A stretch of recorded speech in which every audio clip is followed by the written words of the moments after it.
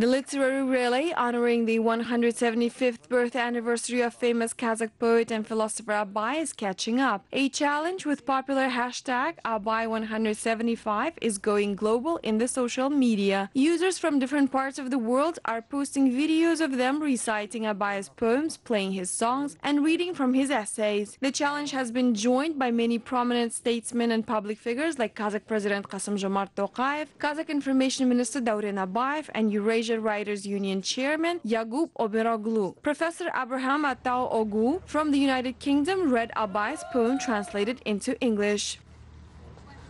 Through windless night, the glinting moon illuminates in flowing waves.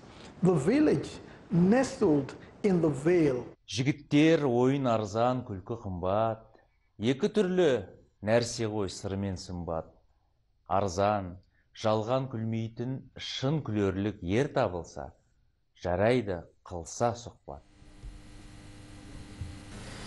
A state commission has been established to mark the 175th birth anniversary of Abay Bayılım. Hundreds of different events will be held to honor his legacy, including science conferences, translation and publication of his works in foreign languages. Abay's museum, Jidibay Burulu, will undergo modernization. The UNESCO and Turksoy will hold events commemorating Abay as the challenge hashtag Abay175 continues.